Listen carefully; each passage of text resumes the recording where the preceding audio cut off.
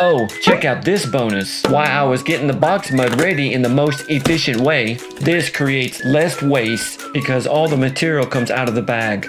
The beauty part about box mud is it's cheaper and there's less mud in the box, which means you can add more water without making a mess. And even more water.